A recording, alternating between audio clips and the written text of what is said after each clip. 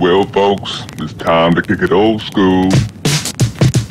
Uh, so you can feel cool. Hello everybody and welcome back to Maki's Toys. I'm going to be trying to activate glitter glue with baking soda and water. It activates the Cra-Z-Art clear, so- so it might as well activate this.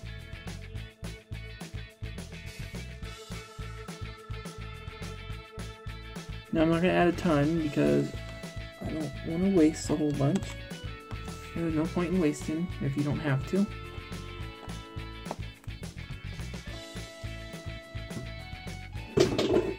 Oops. Okay. What will happen? Will it work like the Cra-Z-Art? Will it completely fail? Okay, here we go. Baking soda and water, Elmer's glue.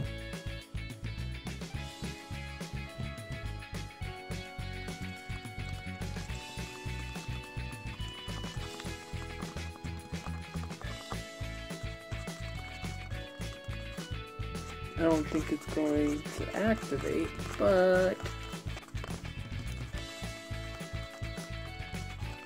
let's hope I, we can salvage this by adding borax to it a little bit.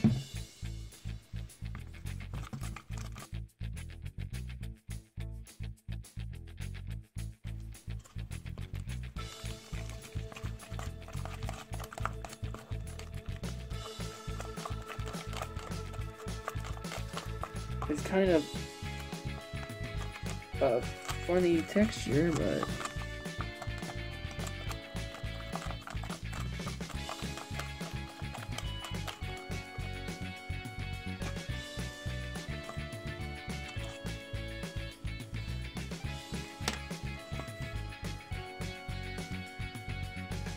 it's not mixed all the way.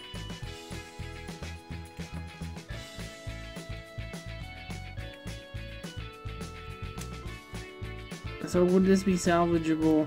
Eh. I honestly would just toss this out instead of trying to salvage. It's not like I don't know. It just doesn't feel like it's gonna hold.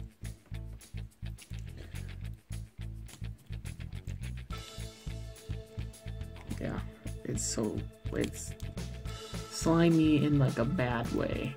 It's supposed to be slimy, you know, like slime, but it, it's this is no good.